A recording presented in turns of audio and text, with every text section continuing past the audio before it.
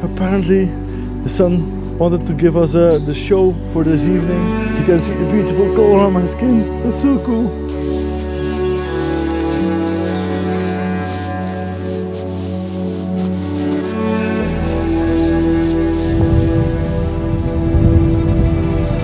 Welcome to today's episode.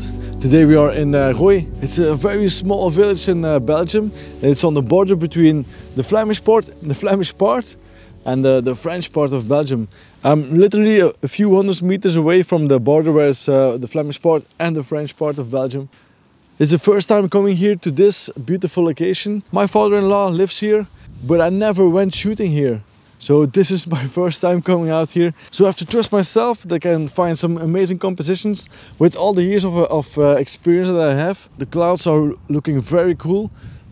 So I hope the sun doesn't get blocked by the clouds. I guess the sky will uh, turn on fire because we have some fluffy clouds going on today and uh, they're looking very nice. You can also see the, the, the, movement in the clouds because there's a lot of wind now today. So this is uh, what I've got uh, going on here. Uh, these trees, these four trees here, got my attention because when I was walking up to this place, the landscape curved a little bit, so I couldn't see the bottom of the trees. In the foreground, we have a little piece of this cornfield here that's uh, just been cut. We have a, a few rows here that, that are leading our eye into the composition.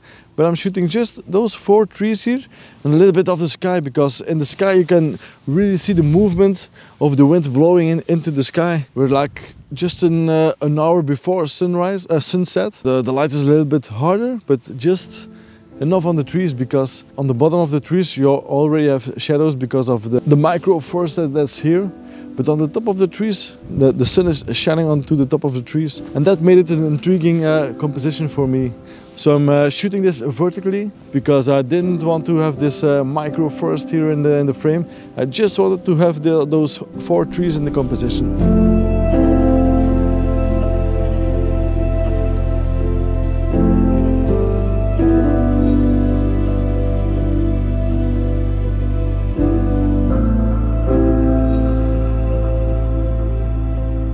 And uh, when I was uh, aligning my composition, in the front of those four trees, I saw a small little tree.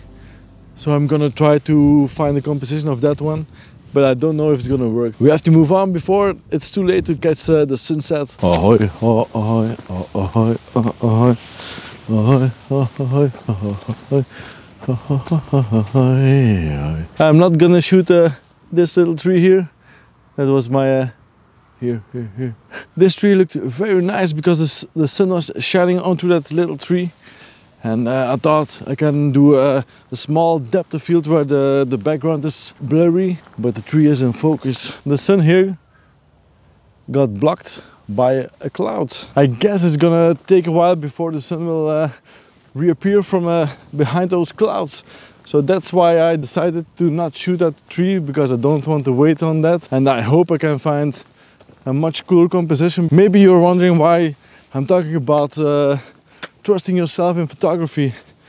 And it's just because I see a lot of uh, photographers that are trying to copy another photographer, which is not bad. I also started that way, but you have to make it your own. A lot of photographers are asking each other, is this a good composition? Is this photo good enough or not? Photography is art, so there is no good and bad. There is only your way of seeing that uh, composition. In the beginning when I started photography, I was just the same. You don't know anything about photography and slowly but surely you start to find your way into photography and uh, you, are trying new things and uh, you're asking other people what they think about it. I also did six months of uh, photography class. When I was doing those classes, I was wondering by myself, why can a teacher tell me that my photos are, aren't good and why is he deciding that it's a good photo or not? He didn't see the world like i see it. And i was more into landscape photography and that teacher was more into journalism photography.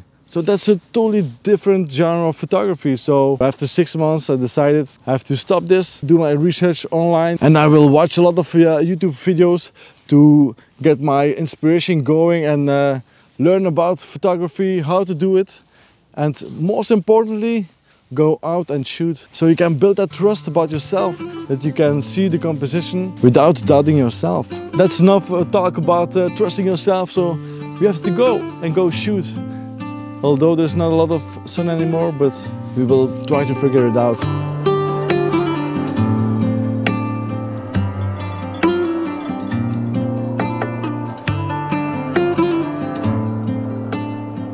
I'm uh, shooting our next composition.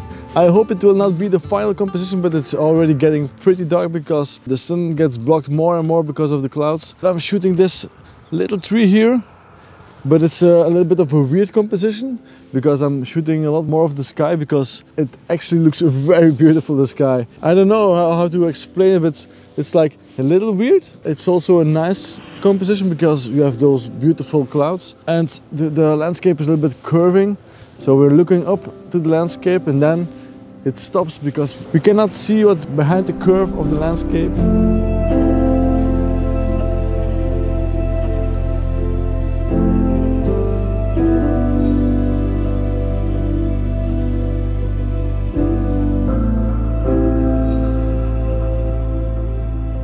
I'm shooting our last composition for this evening. The composition on its own is not very strong, but uh, the sky is exploding so all around me there's colors in the sky and that's super amazing. So I'm super I'm hurrying myself to, to capture this explosion. That's super amazing.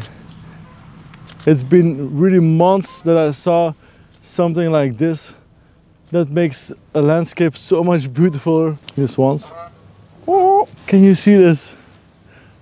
This is just magic. A little bit about the composition I'm uh, shooting at f8 ISO 100. I have some uh, some cows in the picture and that creates also a little bit of a, a living element into the frame. I really thought with the previous shot that that picture would be the last one of the evening because the sun was blocked but apparently the sun wanted to give us uh, the show for this evening and I'm not mad about it. You can see the beautiful color on my skin. That's so cool.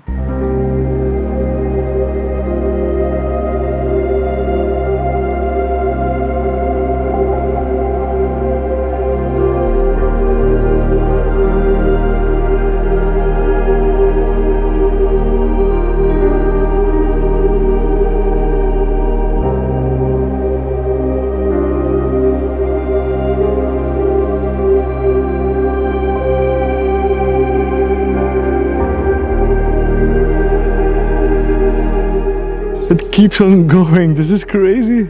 It's been a, really a while that a sunset was this long. I also took a, a vertical picture of this little tree here. I'm, uh, I'm shooting also a vertical photo with the bushes here in the foreground and the beautiful sunset in the background. But I'm focused on the sunset and that's our main element of this picture. It's not super big here, so I'm, I'm a little bit limited with my compositions, but I'm super happy with the sunset super cool. If you also like the sunset, give the video a thumbs up. Those thumbs up on the video, it will help me grow this channel. I want to take more pictures and uh, I want to, to show you more of the, the Belgium landscape. Also this picture I'm shooting at uh, one third of a second at f8 at ISO 100. I wish next time I have a very good composition that I have a sky like this because it was so amazing. It's uh, slowly fading away into the horizon. It made my day. also, if you want to ask me questions, you can uh, follow me on Instagram at uh, Joris van Deuneghem. Uh, it's uh, in the link below.